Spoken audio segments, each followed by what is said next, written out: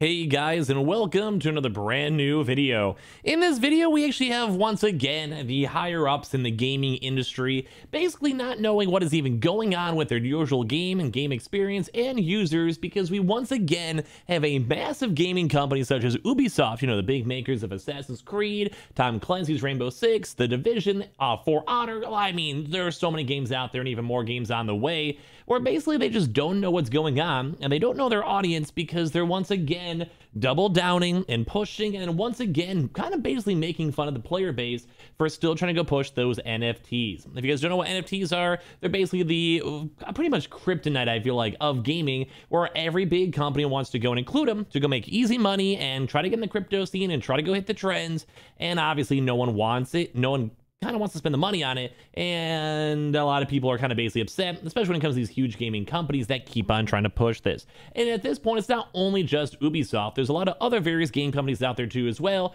that are basically going and making us all have to sit through this nft crypto bro talk that i'm sure you guys have probably heard from your weird friends from high school who never really got a real job. So we have a lot to go talk about over here so make sure you guys are subscribed with the notifications on. Throughout the video itself give me your thoughts and comments down below. We have the amazon links as we're waiting for the ps5 disc digital console console controller. Same thing too as well those Samsung SSDs as well as the Samsung brand new phones up on sale too as well. You get a gift card for picking them on up down below. Twitter and Twitch stream as well. And of course, check out those Webulls and give me your thoughts on this one because for this, the NFT plague is just destroying pretty much everyone. So for this, we actually have an article over here and had some pretty big official statements from Ubisoft themselves.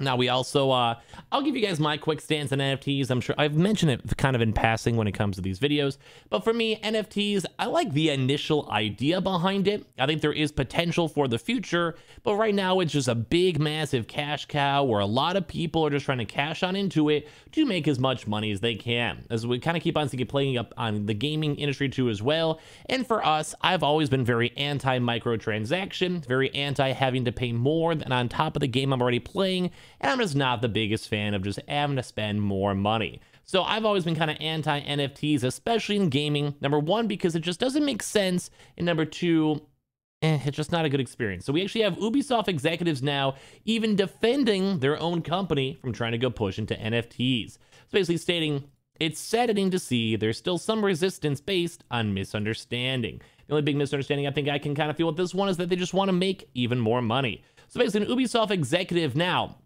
has said the company will proceed with its plans to implement non-fungible tokens or NFTs in its game, claiming players just don't get it, which I think is insulting nonetheless. I think a lot of folks understand the idea behind it, and I'm someone who mentions like Coinbase. I have a lot of cryptocurrency. I've owned cryptocurrency since probably before even Ubi, this Ubisoft executive even knew what it was. I was mining Dogecoin back in 2012. I was mining Bitcoin and Litecoin forever ago. I literally have an Ethereum staking node. Like at this point, like your boy's up in this stuff. So basically, I will probably respectfully disagree and say that a lot of these NFTs are just not there yet. So, in an interview with Australian financial comparison site Finder, Ubisoft Strategic Innovations Lab VP Nicolas Pouard defended the publisher's plans to add NFTs to its games despite huge player backlash.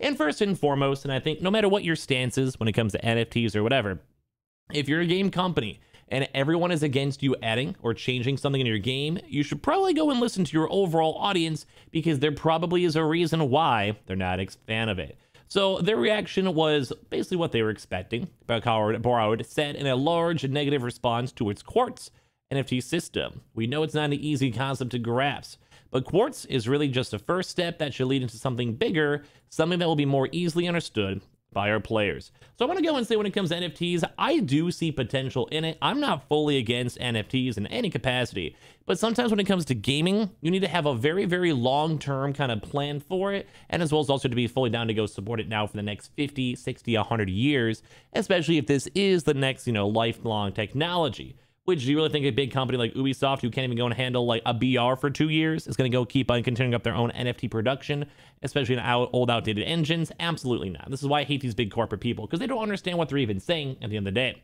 Pouard continued to imply through the interview that the player backlash was due to their inability to understand the benefits of NFTs. I'm someone who, like, I once again, I, if I if this person want to go get in a call with me, I would gladly do it because I at least uh, do understand the blockchain. I have actually been involved in cryptocurrencies in many, many years. I have probably more money invested in cryptocurrency throughout my entire life than this guy probably has made from his actual Ubisoft job position. Like, there's been a lot of cryptocurrency I've owned throughout this year. I've done a lot of day trading. I've gotten into crypto even back in 2016. Like, a lot of my holdings have done very, very well for themselves in general. So the fact that they even, for someone like me, who's more well versed in cryptocurrency itself, let alone everyone else who understands at least the nuances of it, the fact that they're kind of insulting people on this is just kind of just, to me, it's just honestly got embarrassing. So he says, I think gamers don't get what a digital secondary market can bring them. I think it can. I think it'd be phenomenal. But the big issue is that is once again, a lot of game developers would have to have a long-term support for it to be able to go utilize these different types of skins and different types of NFT type products on various game systems. Now, if you're a company like Ubisoft and you could utilize all these things throughout the Ubisoft market, that has a lot of potential. But once again, what happens when you get to a new engine? What happens if literally no one wants to utilize it? And as well on top of that too, at some point there's a money issue where if you go and spend a $1,000 on an NFT, let's say you have a sword or something like that in an Assassin's Creed type game, guess what? Who is going to be paying that money long term? Is it going to be Ubisoft or are they going to drop the project after a few different years? We think like once again, 30 years, 40 years, 50 years, 60 years. Like this is a lot of legalities that actually kind of matter in the first place. So for now, because of their current situation and context of NFTs, gamers really believe it's first exploring the planet and second just a tool for speculation. Uh, 100% it is a tool for speculation without any type of doubt. All cryptocurrencies in the same exact boat too as well, besides maybe type of stable coin. So first and foremost, you're already wrong. Second of all, destroying the planet, I'm actually not one of those big freaks who want to go push like the cryptocurrencies destroying the planet because there's other various things that do kind of affect the planet a lot more on a heavily scale. It is technically a negative thing when it comes to electricity, but there's also a very large margin of cryptocurrencies that are also just more so based on solar, hydro hydroelectric power. And overall, while it is a somewhat negative long term as the kind of planet turns a little more on the greener side, it should overall be fine. As well, the impact is also very minimal, but you're definitely wrong on the second take. What we're at Ubisoft are seeing first is the end game, which you need to go and get to the actual first step as a big game industry before you get to the end game. End game's cool. I can see the end game, but right now you you're kind of missing the first like the first step. If you go and trip on the first step, it's a good start to go run a marathon. The end game is about what giving players the opportunity to resell their items once they're finished with them or they're finishing playing the game itself.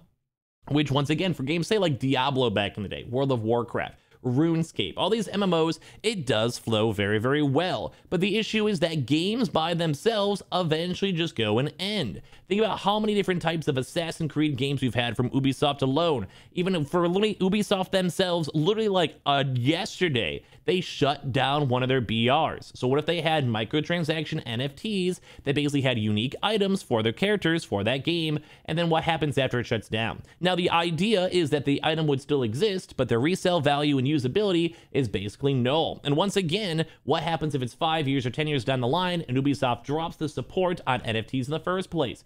It does not work like that. You need to go pay developers. You need to go and have the custom animations. You have to have custom game scaling. And basically, you have to have someone specifically coding every single type of NFT into your system. And every game is different, especially for an Ubisoft game too as well, where different type of scales, different power scales, and different types of overall games are different. A game like Tom Clancy's Rainbow Six versus, say, The Division, extremely different.